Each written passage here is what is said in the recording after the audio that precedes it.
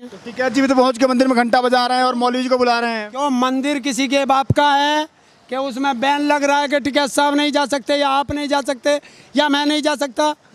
अगर तुम भगवान के द्वार पे तो कोई भी जाओ, या भगवान के द्वार पे भी सर्टिफिकेट लेके जाना पड़ेगा कि आप जाओगे, मैं नहीं जा सकता। यही तो नफरत ये बोलना चाहते हैं। ये अपना चाहते हैं कि हमारा एक अधिकार रहे। अगर हम कहें तो जनता खड़ी हो हम कहें तो जनता बैठे हम कहें तो जनता बोले हम कहें तो जनता चुप रहे। गुलाम बनाना चाहते हैं देश को। ऐसे कैसे हो जाएगा?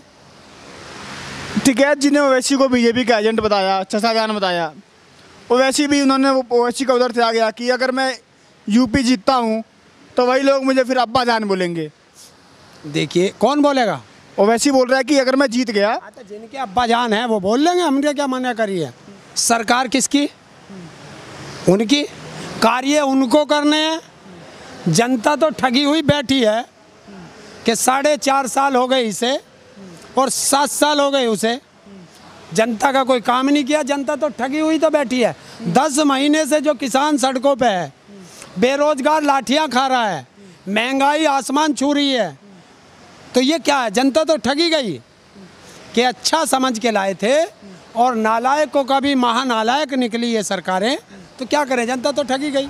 टिकैत जी अभी टिकैत जी, जब टिकैत परिवार पूरा जब घंटा बाँध रहा था मंदिर में इक्यावन किलो का तो उन्होंने बोला कि पश्चिमी यूपी से संखनाद हो चुका है बीजेपी के खिलाफ।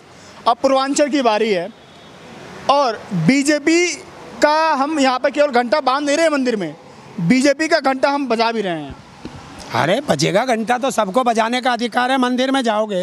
नहीं बीजेपी का घंटा बजा रहे हैं वो। देखिए बीजेपी का तो ऐसा घंटा बजेगा इस बार कि दो हज़ार बाईस होगा मैं फिर वही कहता हूँ। दो हज़ार बाईस होगा मार्च का महीना होगा और योगी जी अपने मठ में घंटा बजाता होगा।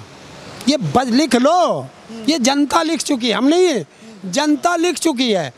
जनता को इंतज़ार है कि फरवरी मार्च का महीना आ जाए और हम बटन दबाने का मौका आ जाए। इनको भगाना है। मुजफ्फरनगर कितना भी चाह करके मुजफ्फरनगर निकलना चाह रहा है मुजफ्फरनगर हट नहीं पा रहा है। कहीं ना कहीं घूम कर मुजफ्फरनगर आ जाता है। तो क्या लगता है इस बार जो यूपी का चुनाव होगा उसका सेंट्रल पॉइंट जो चारों तरफ़ राजनीति घूमेगी वो मुजफ्फरनगर जगह होगी? देखिए पश्चिम से ही राजनीति चलती है। पहला फेस होगा तो यहीं से शुरू होगा।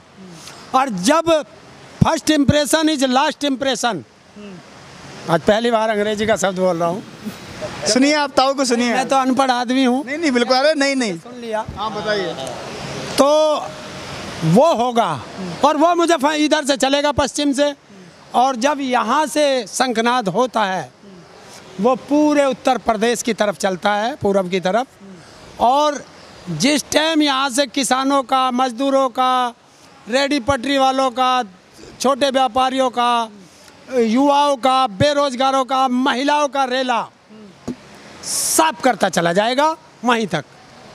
योगी जी ने बोला है कि यूपी में अगर कोई बाहर से आता है, किसी अन्य राज्यों से आता है, उसको विकास की याद आती है।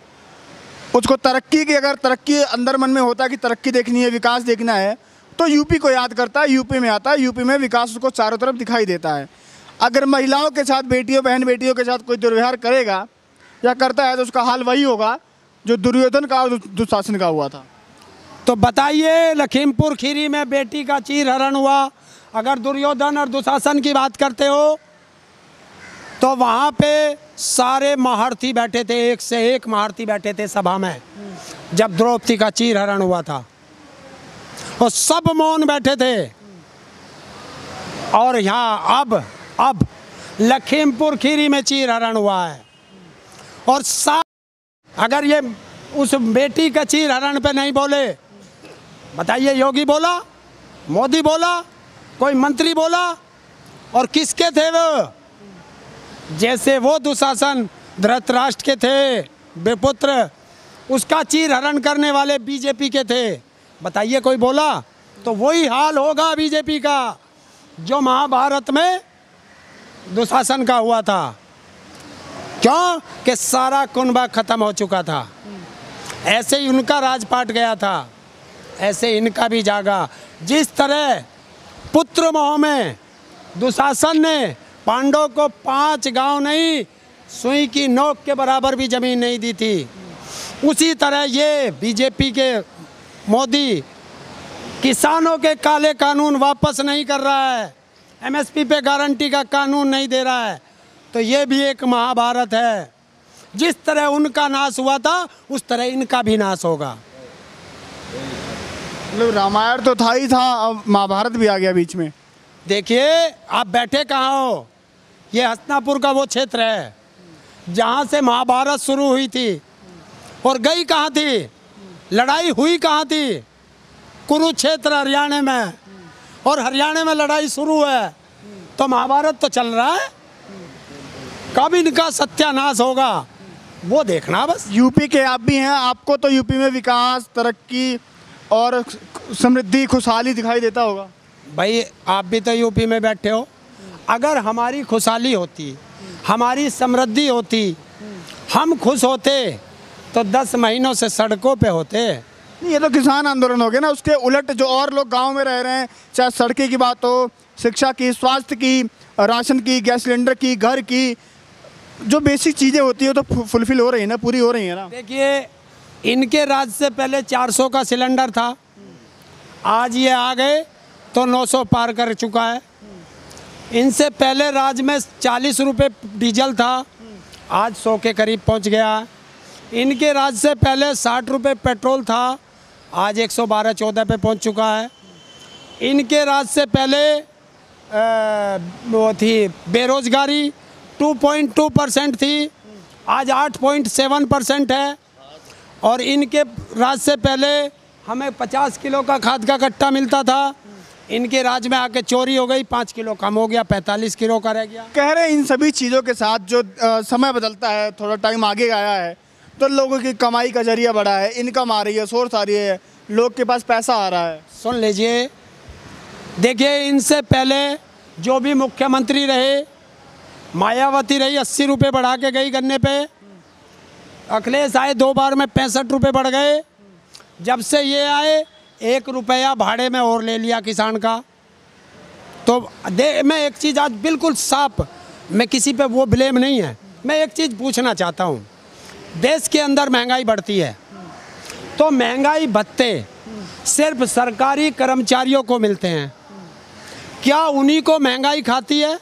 देश के मजदूर को, गरीब को, किसान को, व्यापारी को, क्या इनको महँगाई नहीं लगती? तो इनका कैसे बढ़े? अगर आप सरकारी कर्मचारी हो, आपको एक लाख रुपए तनख्वाह मिलती है। आपका गुजारा नहीं होता।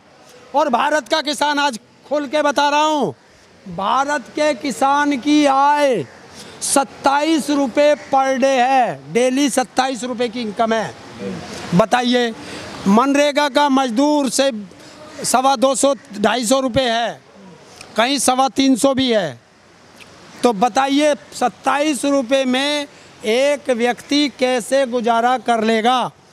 और अगर मैं सत्ताईस रुपये में गुजारा कर सकता हूँ तो फिर देश का प्रधानमंत्री इतनी तनख्वाह क्यों लेता है? मुख्यमंत्री क्यों लेता है? विधायक, सांसद क्यों लेते हैं? जब उनको हर चीज़ फ्री मिलती है।